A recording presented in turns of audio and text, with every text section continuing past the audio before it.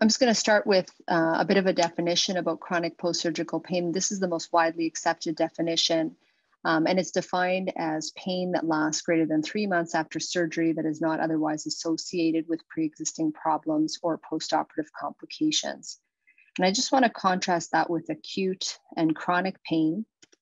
Acute pain is something that virtually every human on the planet has experienced um, it's typically related to an inciting event, be that trauma or surgery or an underlying disease.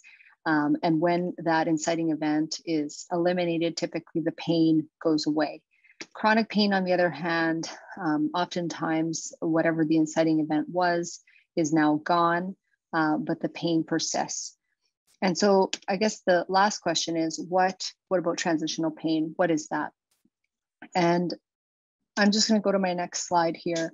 Um, this is an area that is of great interest to um, pain researchers and clinicians.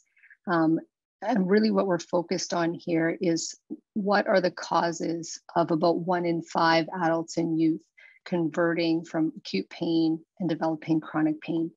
We know this is a complex process. It involves various factors. Um, definitely genetics and epigenetics plays a role. Um, we know that psychological uh, factors play in strongly here as well. Things like anxiety, depression, catastrophizing, for example.